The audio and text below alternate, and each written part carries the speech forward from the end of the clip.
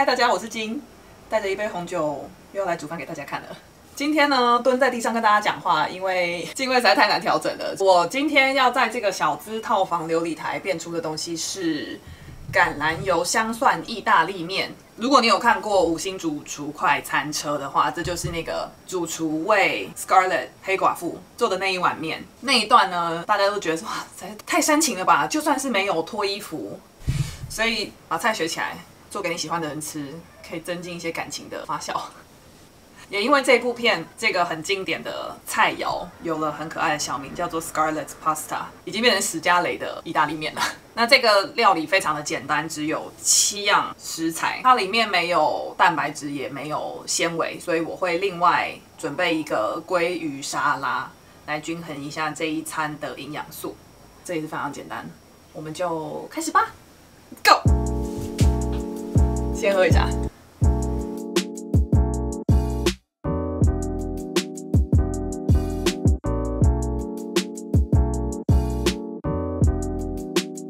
第一件事情呢，我要来腌鲑鱼，撒盐，把腥味逼出来，用纸巾拍一拍，然后进烤箱烤，大概两百度，十五分钟左右。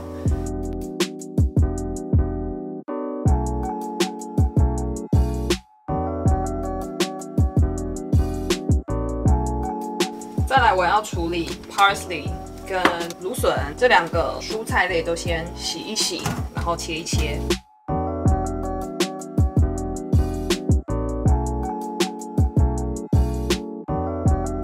这个 parsley 我会把叶子都摘下来，这样子。这种最粗的梗，最粗的梗我不会留，这些全部都要把叶子摘下来哦。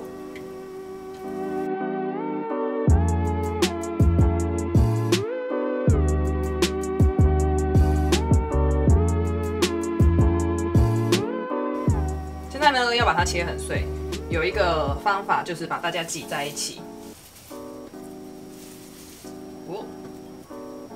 绝对是会弄得乱七八糟啦，不用期望更多了。挤在一起以后呢，稍微卷一卷。如果你可以把它稍微握成一团，然后就可以这样切。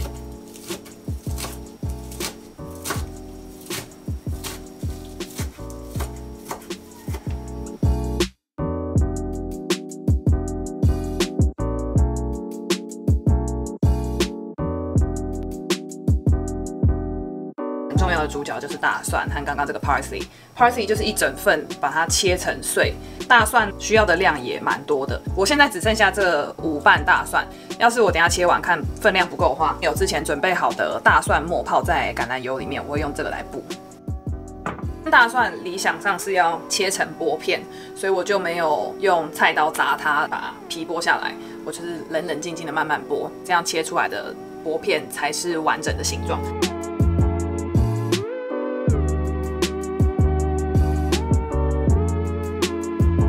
刚刚把烤箱预热了，处理一下鲑鱼，就可以进去烤喽。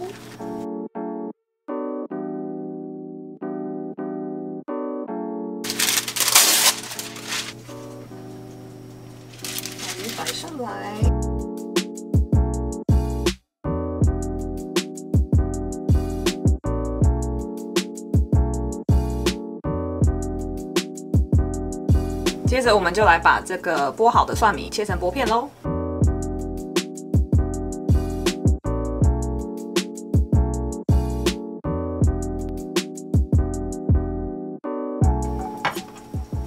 我真的是非常不擅长切东西，有够厚，理想的厚度应该会是这个的一半，很薄，我没有办法。完成了，巴西里莫跟大蒜片。哎呀，我忘了把芦笋放进去跟鲑鱼一起烤，那现在赶快淋油加盐，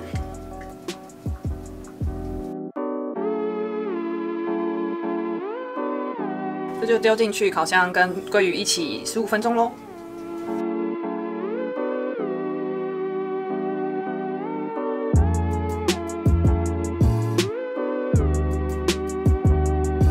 趁鲑鱼和芦笋在烤的同时呢，我们就来煮意大利面。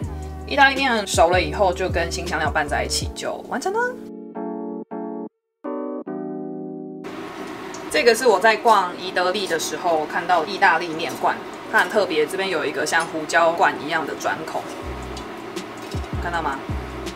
它的设计是这样子出来的，细直面就是一人份，所以大概这样，这样就是一人份，酷吧？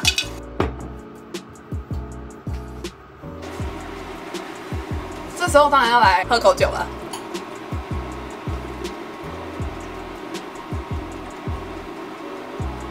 今天做菜超级心不在焉的，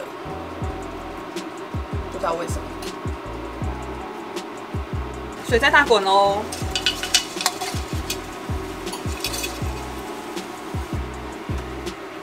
Hey Siri，计时八分钟。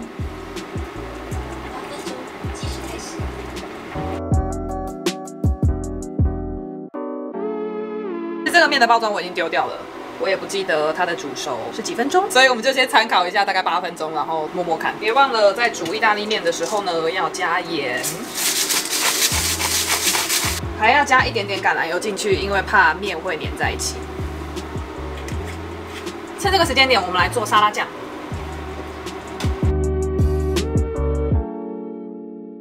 要用的材料有油、醋、盐、胡椒和。果酱，这是一个厨师朋友教我的。Hey Siri，谢谢。就在这个 moment，面就好了。我们先来试吃看看，先调小。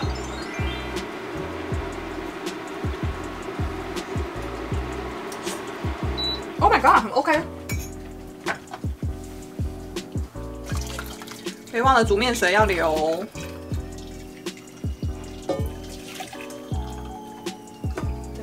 边，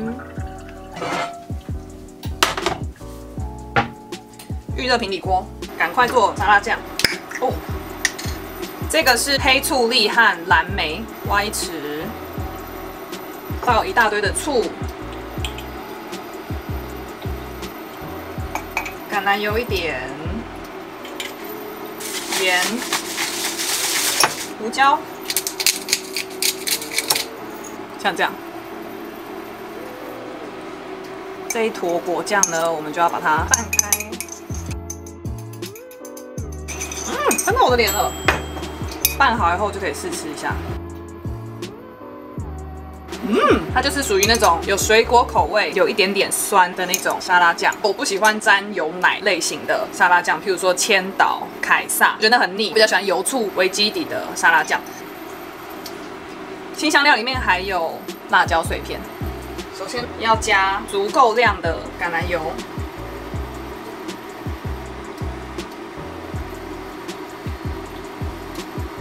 这是橄榄油香蒜意大利面，所以油不再只是炒菜的一个润滑剂，它是食谱的一项材料。那如果你用好的油，它就不会有油耗味，或者是起什么油烟。就算你加多一点，也不会觉得腻。大蒜下去。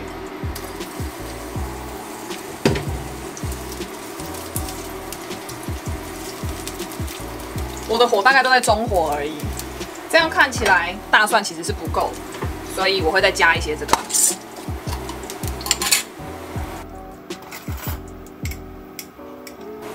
这是蒜末，泡在橄榄油里面的蒜末。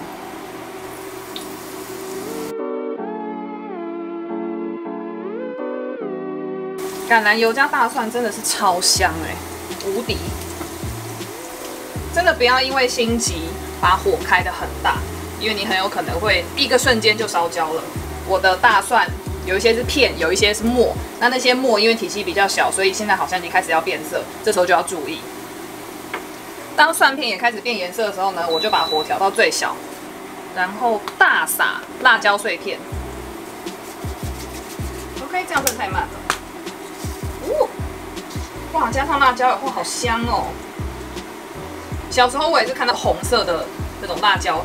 我就会很怕，就说哦很辣，我不要吃，我不要吃。但现在开始煮饭以后，慢慢发现辣椒有不同的辣椒，辣度也不同，使用的方式也不同，开始尝试不同的做法。哇，香到爆哎！我一直在剥它，因为我不想要有人烧焦。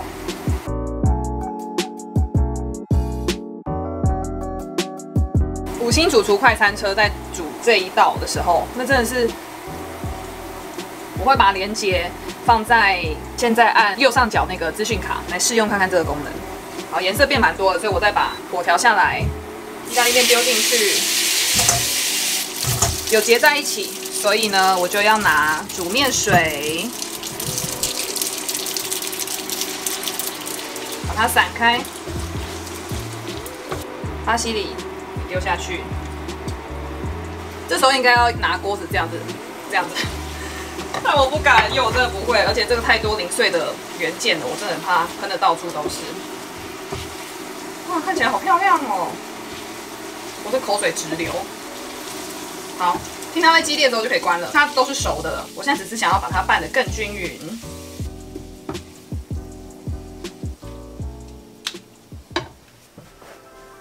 鲑鱼还有芦笋。这是我之前已经准备好的生菜，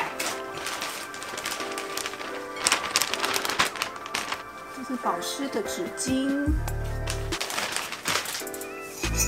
沙拉酱呢，一定要在上桌后才能够淋上去，不然的话，你的叶菜很容易会被泡烂。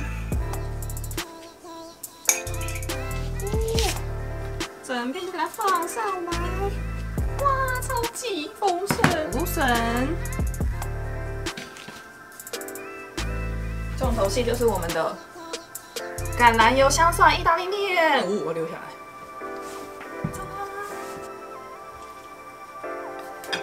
哇！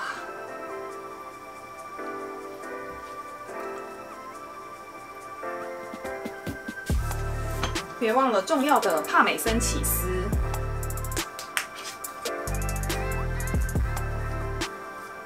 柠檬汁。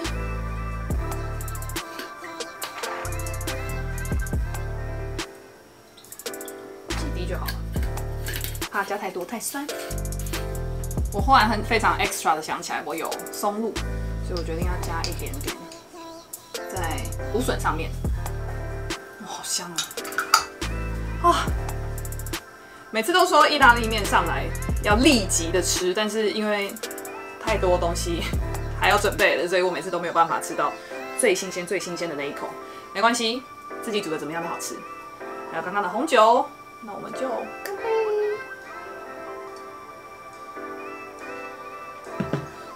终于可以开动！也太有仪式感了吧！自己在家就有这种意大利面跟沙拉，配一杯酒。好，我先吃谁？好，我先吃这个。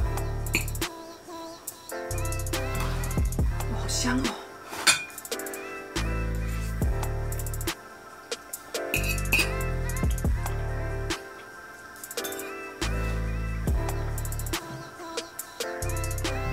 真的是有一点辣呢。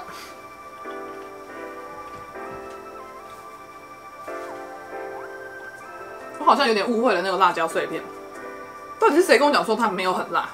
哎，我现在有点 哦，除了辣以外，其他都非常香，有 parsley 的香，还有大蒜的香，还有橄榄油的香。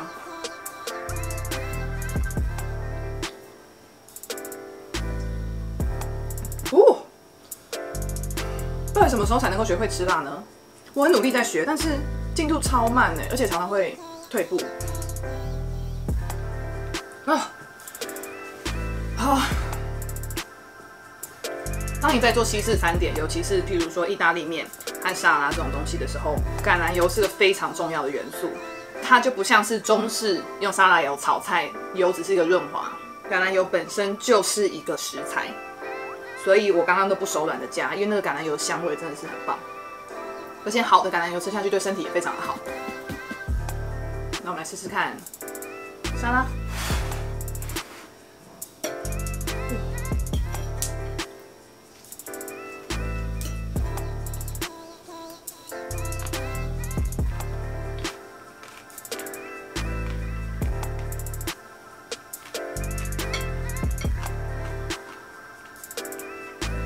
哇，我鱼皮烤的真的太脆了，我还一度以为是鱼刺。哇，桂鱼好香哦！然后来搭配一点芦笋和松露。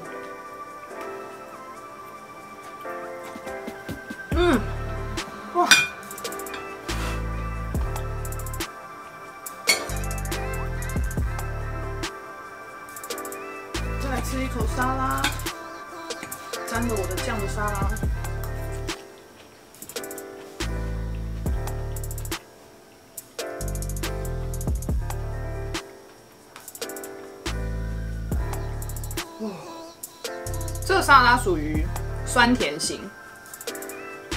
我以为跟鲑鱼还有芦笋这种咸食配起来会很奇怪，但是综合的很好哎。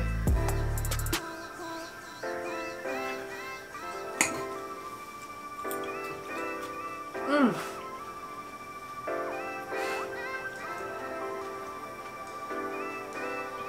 今天我们来试试看，边吃边闲聊，看我会吃多久。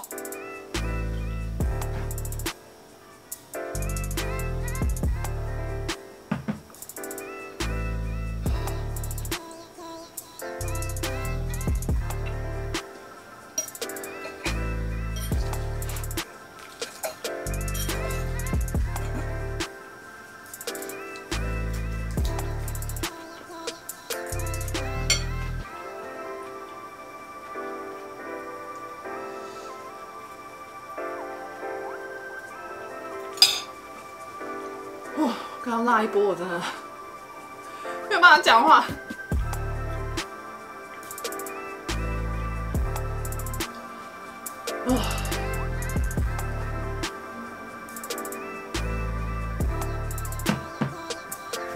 今天我们来聊聊饮食习惯好了。几年前我在上重训教练课的时候，我的教练有教我怎么算每一餐的营养素。如果你不知道的话，我们每一餐，我们人体需要的三大元素是碳水化合物、蛋白质和脂肪。那碳水化合物其实就是淀粉和，比如说蔬果那些纤维类；蛋白质就是蛋、豆、鱼、肉；脂肪呢，就是你吃饭的时候可能会加的油，或者是吃牛啊、鲑鱼的时候里面那些油脂。我那时候有花了一整个月的每一餐都有拿磅秤去称我吃的东西是什么，然后记录下来。其实不是在算你每一餐吃了多少东西，而是你每一餐吃了多少成分。那我那个月其实也不是在节食或者是增肌或减脂，其实我就只是想要重新认识我在吃什么东西，所以我就有用一个 app，就是那个 My Fitness Pal，它可以去记录你每一餐每一个营养素，也就是那三个营养素的摄取量。我就每天带着我的磅秤，在我的包包里，然后三餐早餐、午餐、晚餐会把东西分开来称称看，我今天吃了什么，记录在里面。那一整个月我重新认识了食物，譬如你会以为红萝卜它是蔬果类，所以它应该很健康，但其实红萝卜的糖分超高，所以你要是一旦吃它的话，你当天碳水化合物的量就快要爆了。或者是牛肉跟鲑鱼的油脂含量非常的高，那你那天要是有一餐吃的牛排，虽然蛋白质很多，但是它的油脂量也可能会让你超标。就让我重新审视了我每一天吃什么东西，怎么吃也是一个重点。以前你会以为水煮才叫健康，水煮就可以减肥，但水煮的东西都没有油，等于说你的脂肪摄取率反而可能会过低。那一个月里面带着我的小磅秤 上山下海，餐餐量，其实我没有觉得很麻烦，可能是因为我自己吃东西本来就很简单。譬如说我那时候在上班，我中午就去自助餐店，我就点一只鸡腿、花椰菜、高丽菜、白饭，然后装一盒回来，回到位置上呢，我就把一个一个东西拿出来称一下，然后就把它吃掉，蛮简单的。吃汉堡也很简单啊，面包拿起来称，肉排拿起来称，然后再煮回去就可以吃了。其实没有那么追求那个数字。就是我一定要达标，或者是超标的话，我明天就要多跑两圈，什么？只是想要重新认识食物。那我得到的结论是，你要吃对吃好很难，而且很饱。从那次之后，我在下厨煮东西给自己吃，或是在外面外食的时候，我就用一个不一样的角度在看这些食物。现在有很多饮食法，不管是间歇性断食法，或者是生酮，或者是蛋奶素、全素等等，我没有这么极端去选择一个特定的生活方式。我就是觉得均衡就好，所以我每一餐都一定还是会有淀粉，会有蛋白质，然后蔬菜这样子。我会尽可能达到的比例是最多的是蔬果类，然后第二多的是蛋白质，最后才是淀粉。我吃的方式会是先吃蛋白质，再吃菜，再吃饭。蛋白质可以避免你的血糖震荡，这个大家其实现在应该都听过吧？当你吃了蛋白质，吃了蔬菜，你剩下能够吃淀粉的胃其实很小，所以这样你淀粉也不会摄取过多，你也不会血糖震荡，你也不会吃完以后就开始昏睡。吃一口，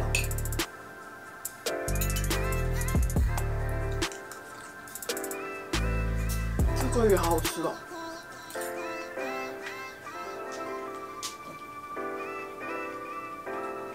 我就只有抹油、撒盐和胡椒，直接进去烤。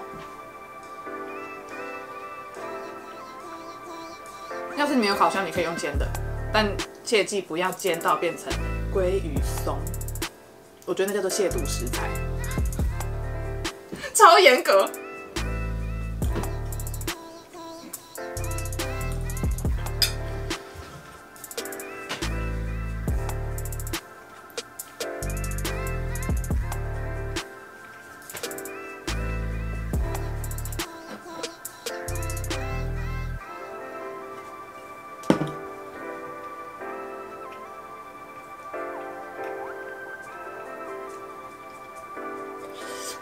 啦，吃东西这件事情，在你的一生当中，应该是除了睡觉以外，你花第二多时间在做的事吧。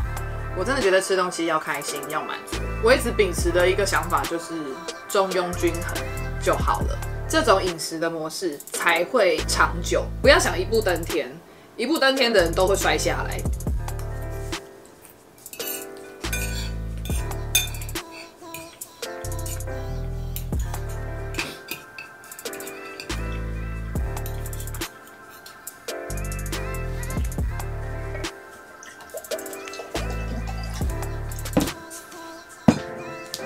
以呢，酒我还是会喝，炸鸡也没有要比，甜点更是要吃。吃东西除了身体的满足，心灵的满足也超级重要。要是你的心灵不满足的话，你就会很容易大出轨，然后去乱吃，求一个爽，然后你的身体就要承担这些后果。就回到老话一句，中庸均衡就够了。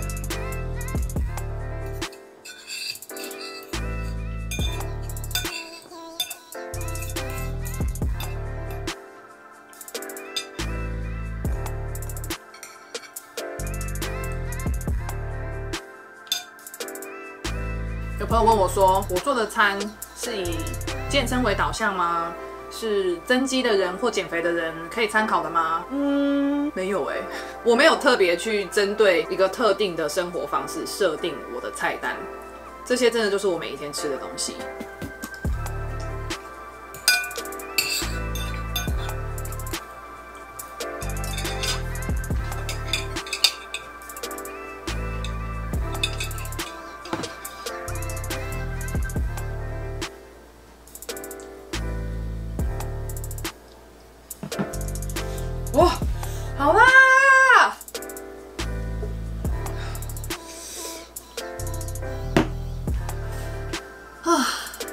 吃饱了，饭后来一杯醋吧。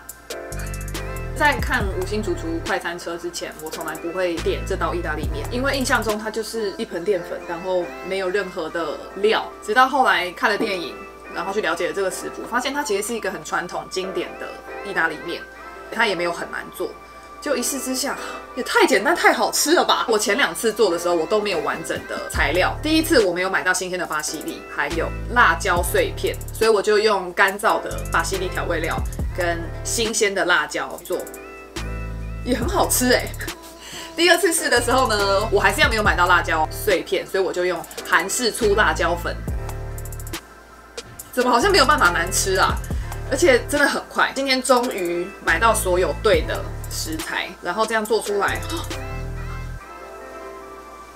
这一餐没有很精致，也不用花太多时间，可是加一点点小心思，譬如说一杯红酒，然后加一点点松露，就觉得吃的很满足。尤其是自己做给自己吃，这其实就是爱自己的一个表现。我们的生活不就是需要这种所谓的仪式感吗？今天的晚餐我非常满意。那我们就洗碗喽。